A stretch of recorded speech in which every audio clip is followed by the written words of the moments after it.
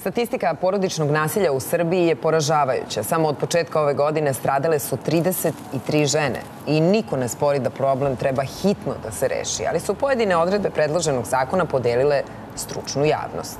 Šta je sve tu sporno u predlogu zakona o sprečavanju nasilja u porodici? Ima li prostora za zloupotrebe? Mogu li deca da ucenjuju roditelje? Šta znači ekonomsko nasilje? Postoje li kazne za lažno prijavljivanje? Da li su u policiji data prevelika ovlašćenja?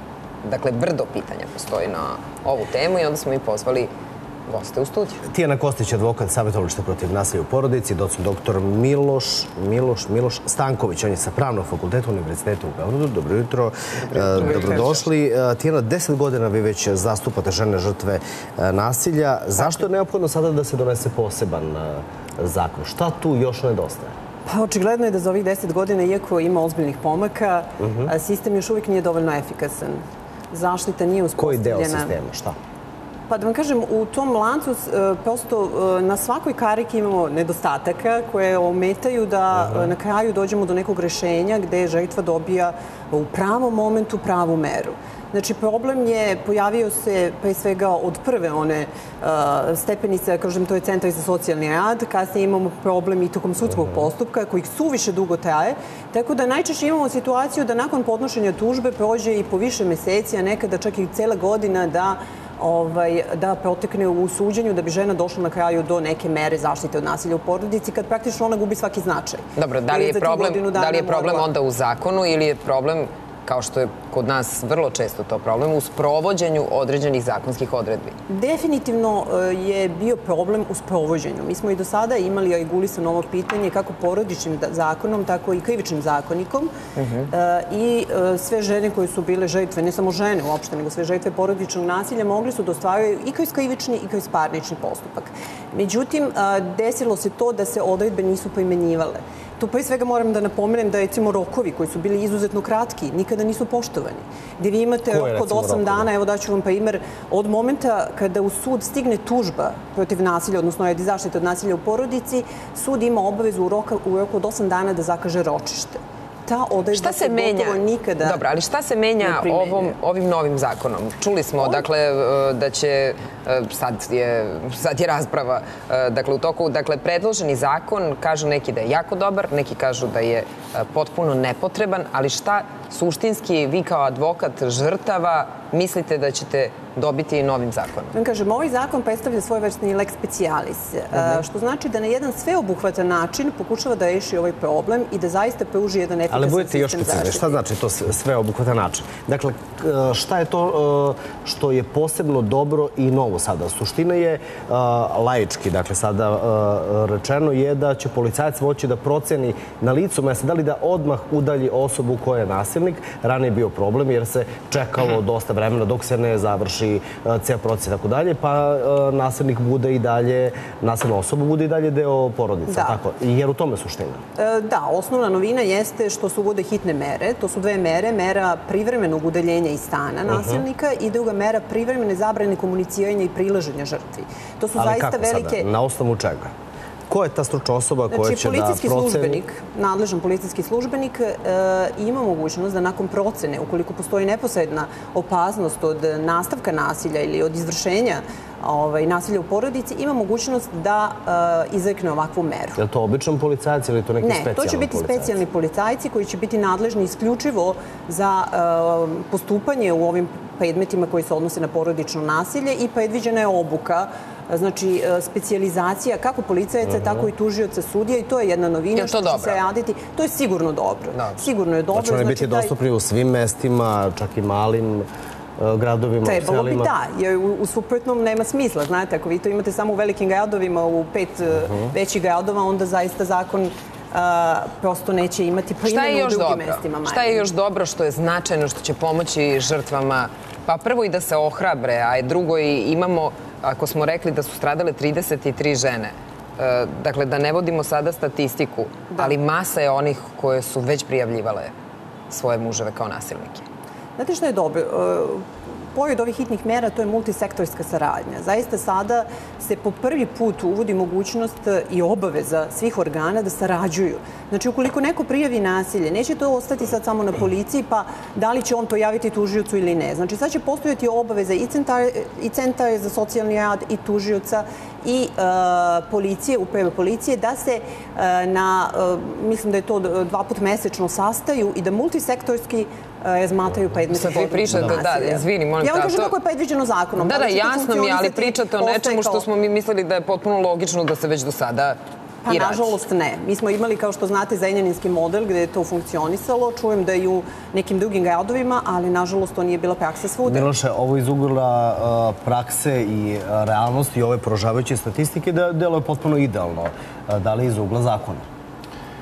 Prvo moram da kažem da nažalost, u našoj državi izgleda da postoji eskalacija svakovrsnih vrsta nasilja, od porodičnog nasilja, međuvršnjačkog nasilja, nasilja na sportskim priredbama, međugeneracijskog nasilja. Skupštinskog nasilja. Niko normalan, naravno, ne može da opravda, niti da ne osudi na najstroži mogući način bilo koju vrstu nasilja, razume se i porodičnog Čemu nasilja. taj uvod sada?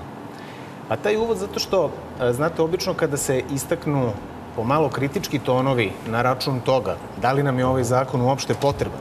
Znate, u Kraljevini Srbiji kralj Petar je donao zakon o zaštiti štampe sa jednim jedinim članom. U Kraljevini Srbiji štampa je slobodna. Tačka.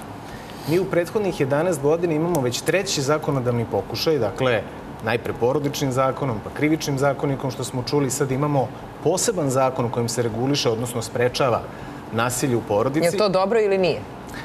Pa dobro je ako se zakoni sprovode, ali ako se zakoni donose da ostanu mrtvo slovo na papiru, a pritom sadrže tako neprecizne formulacije kakve, nažalost, u jednom delu sadrži ovaj predlog zakona, onda razume se da to nije dobro. Šta je neprecizno? Evo, primjer, Ajde da krenemo taksativno, da nabrajamo. Evo, počet ću taksativno. Dakle, imate u nekom članu 3 gde se navodi krug lica za potrebe instituta nasilja u porodici. Kaže se da su i to lica koje su u partnerskom odnosu.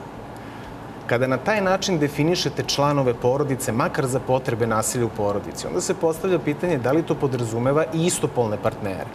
Ja nemam ništa protiv da i to bude slučaj, ali to onda treba regulisati posebnim ne, zakonom. Podrazumeva ili ne podrazumeva? U ovoj formulaciji podrazumeva. Isto kao što podrazumeva i lica koje su jedan put ili dva put imala seksualni odnos bez ikakve produbljenije emotivne veze i to su lica koje su u partnerskom odnosu. Da li ova lica treba da štiti zakon koji se bavi zaštitom od nasilja u porodici ili već postoji adekvatan zakonski okvir u krivičnom zakonodavstvu kojim treba da budu regulisane? Šta, to vama nije jasno, tako? Ili to pravno nije jasno? Ja bih volao da to bude precizirano. Uh -huh. Odnosno da već postojeći instrumenti posluže kao mera da se ovakva lica sankcionišu. Šta dalje? Dalje. Predviđeno je da sva lica o kojima je govorila i koleginica, dakle iz oblasti policije, tužilaštva, suda i centara za socijalni rad, treba da prođu obuku koju organizuje Pravosudna akademija. Ta obuka će trajati šest meseci. Pardon, zakon će stupiti na snagu šest meseci nakon što bude objavljen u službenom glasniku. Moje pitanje, da li će u narednih šest meseci ova lica imati dovoljno vremena da se pripreme za ovakve posebne zadatke koje su pred njih postavljene? I najzad ono što je, po mom mišljenju, najspornije u ovom predlogu jeste ne samo pojačano ovlašćenje, nego znate i pojačana odgovornost koja se daje policiji. Evo vam konkretan primjer koji proističe iz teksta predloga.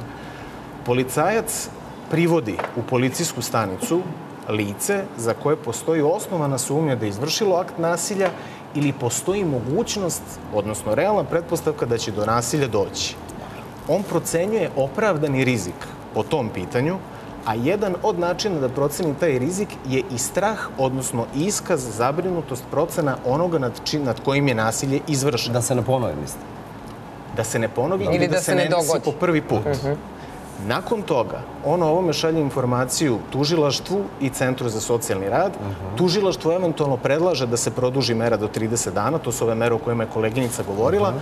a onda, pazite, sud bez ročišta odlučuje da li će ovu meru produžiti ili neće.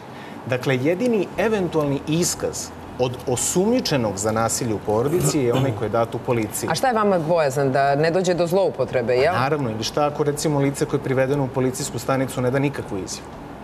Ma dobro, sad možemo da, da pričamo o tome. Ali ajde ovako... Može da, dakle, ne da. Pa može. Naravno da može. Da može. Ali... Isto kao, izvinjam se, isto kao što postoji još jedan problem, znate. Uh, policajac može da izrekne meru koja se odnosi na vašu imovinu. Kao kada vas ustavi saobraćeni policajac, napravili ste saobraćeni prekršaj, mandatna kazna. Ali ovo nije samo sankcija koja se sprovodi na imovini, nego i na ličnosti. Jer ako vi nekoga udaljite iz stana ili zabranite ili ograničite komuniciranje ili prilazak trećim licima, to je mera koja se Dobro, sprovodi ali na znate ličnosti. šta, onda ima mnogo oblasti u kojima možemo da polemišemo da li neka lična procena je adekvatna ili nije adekvatna. Dakle, bolje da polemišemo o toj proceni, da li je pogrešio ili nije pogrešio, nego da pričamo Ali o postavlja žrtvama. se pitanje, izvinite, da li tu procenu treba da daje policija ili kao u nekim drugim državama kao što su Hrvatska, kao što je Bosna i Hercegovina federacija, kao što je Republika Srpska, kao što je Crna Gora, tu procenu treba da daje prekršajni Ali kada sud. kažemo policije, mi zamišljamo da to je onaj policajac, onaj banderaš, kako da vam kažem. Obično onaj policajac ko, ko, Ko je pa, onaj koji je zaustavljen na ulici i traži vam, uh, kako zove... Pa dobro, ali nije vidiš da su to obučeni ljudi. Ko su ti policajci? Dakle, da li su to onda Pa da. specijalni ljudi, intelektualci iz policije koji imaju sve te veštine da prepoznaju svaku tu To situaciju? su ljudi koje načelnik lokalne policijske uprave odredi da treba da prođe ovaj kurs pripreme i oni taj kurs prođu. Dakle, ti ljudi treba da, da prave jasnu razliku između toga da su se muž i žena posvađali, sporečkali, je. psovali jedno drugo, što se u Srbiji vrlo često dešava. Što kao ništa nije sporno, jel? Mislim, šta vi radite u četiri zida. Ali ako